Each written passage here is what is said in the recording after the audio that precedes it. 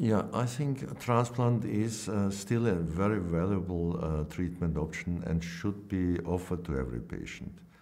Uh, there may be patients, uh, and uh, we in Europe uh, prefer transplant um, frontline as frontline treatment, but there may be patients who achieve a very good remission, MRD negative, after induction. And they, I think they still should collect stem cells.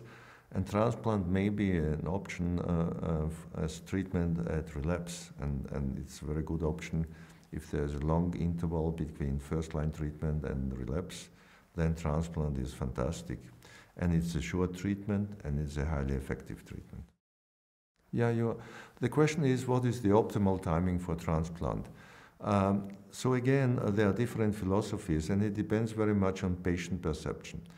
From the new studies, we know that, uh, which have recently been uh, presented, the French and the Holland study, uh, we know that we improve the quality of response, we improve uh, the uh, rate of MRD negativity with upfront transplant, and MRD negativity correlates with better survival. But at this point of time, we just can say that transplant improves progression-free survival. The data on overall survival do not show a difference between transplant and conventional therapy, mean, meaning conventional therapy given at, um, at frontline and then transplant at relapse. So we have to wait for more mature data when it comes to overall survival. But uh, our hope is that, and that is what is known, is that uh, good risk myeloma patients benefit most from good treatments. So transplant isn't an excellent treatment. So the hope is that after four to five or six years, the curves will diverge and those um, um, who are uh, present with good risk features will show a benefit in overall survival.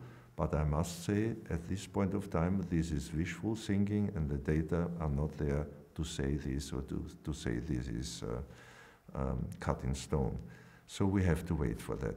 But the benefit in getting a better quality of response is substantial, and then and also the treatment duration is short. So um, it's shorter than 12 cycles of uh, any induction therapies because you just need four cycles and transplant and then maintenance or you can put in consolidation after transplant maintenance, but it's shorter than 12 cycles or 18 cycles of any uh, regimen. There's increasing debate about the role of stem cell transplant in myeloma. And this is a question that comes up whenever a new drug or a new combination with high degree of efficacy uh, is adopted into practice. Now with transplant alone, before the new drugs came along, we had maybe about a third of the patients getting a complete response uh, to treatment. Now we can get that or even better complete response rate with the triplet regimens that we use nowadays. So rightly so, the question of transplant has again come up. What we know from some of the recent phase 3 trials is that transplant still plays a very important role in the management of multiple myeloma. The best example is the French study which looked at patients getting bortezomib, lenalidomide and dexamethasone as their initial therapy and then patients were randomized to get either an autologous stem cell transplant or continuing on the bortezomib, lenalidomide, dexamethasone and all patients then received some additional consolidation with the same triplet regimen for two cycles and they all went on lenalidomide maintenance. So, if you look at the control arm of that study which is lenalidomide, bortezomib, dexamethasone in initial therapy followed by lenalidomide maintenance is what people often would do if they did not go to a stem cell transplant.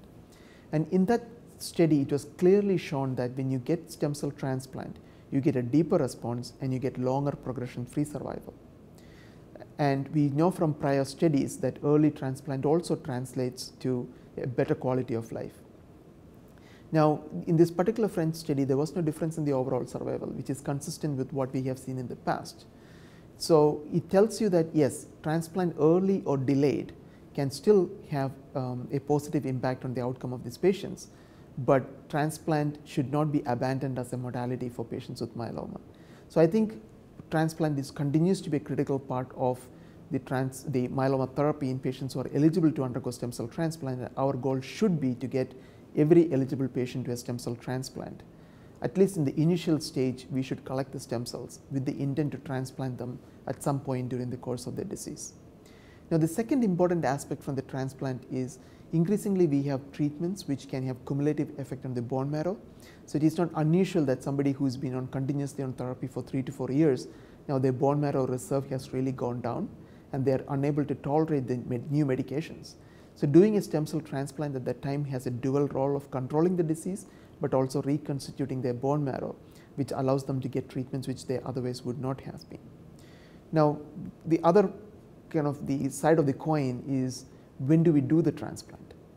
The ideal time to do the transplant um, based on these studies, again the early transplant clearly improves the progression free survival compared to no doing a transplant as part of the initial therapy. However, for whatever reason if a patient does not want an early transplant, collecting the stem cells and doing the transplant later on still gives a comparable overall survival. So, at least one of the two approaches should be considered.